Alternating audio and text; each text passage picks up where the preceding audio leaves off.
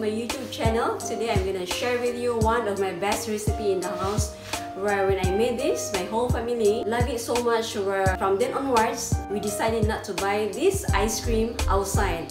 So today I'm gonna show you how to make this ice cream called strawberry cheesecake ice cream. To start with, I have this cream cheese. If you can find the good brand, it's better.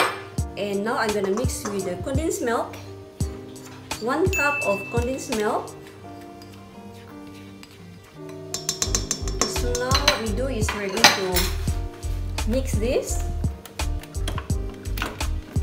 We mix until they become well combined. Yeah.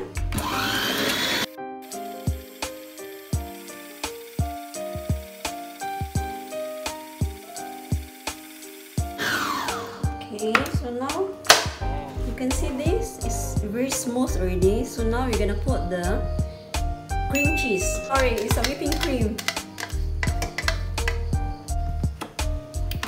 We just mix this one until it becomes thicker and we stop yeah?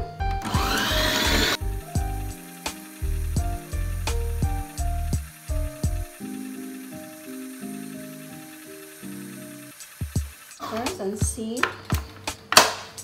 To mix it first.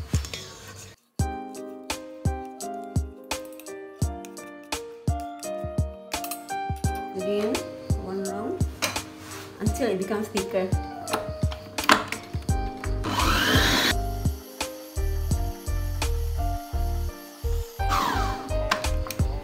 So this is what we need guys, look at that, the consistency is just not so thick, just nice. Okay? So we're gonna take out this one. And now it's time to transfer this into the container. So now guys, you're gonna transfer this into the container.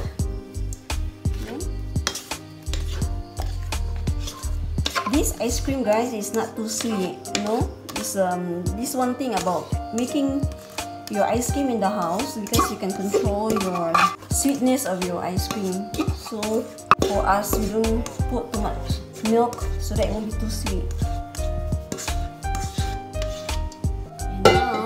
Best part of this is to play with the strawberry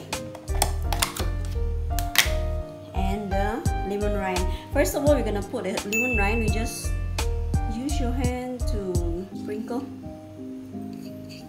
Okay. And the next one is your strawberry.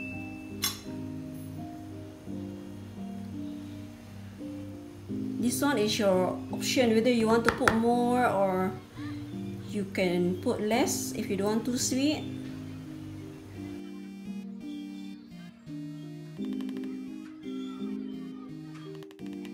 what we're gonna do is to swirl this to have that kind of marble effect with our ice cream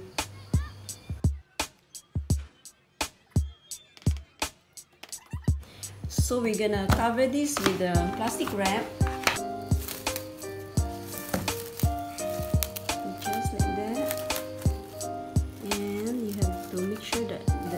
Plastic wrap is touching your ice cream. Okay.